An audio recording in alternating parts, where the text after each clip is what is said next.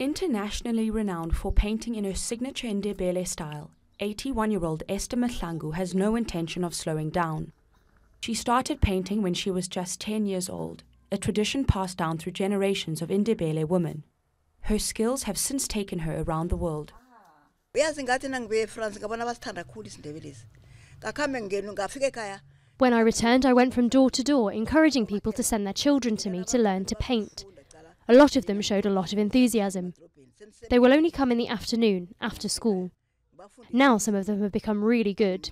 ha bafunda abantwana mara ngama-afternoon nababuya esikolweni Her forebears used only dung and soil to colour their work, which adorned their homes.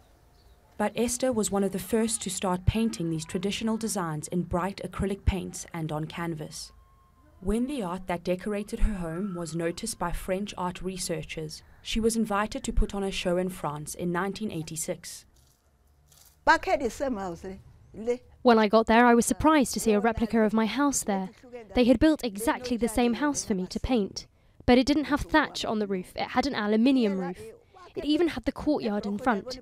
It was exactly the same house. Neso- nesigodlo esi sefrance Esther was the first African and the first woman to be invited to participate in a prestigious art car collection in 1991, keeping tradition alive in innovative ways.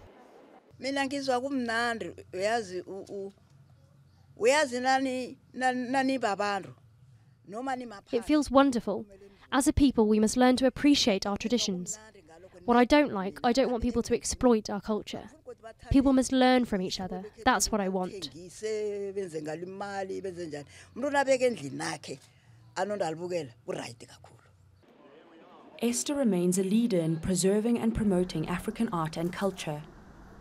Most recently, she has adapted sketches made by Nelson Mandela, reimagining them in her own inimitable style. Ngabathanda- ngibathanda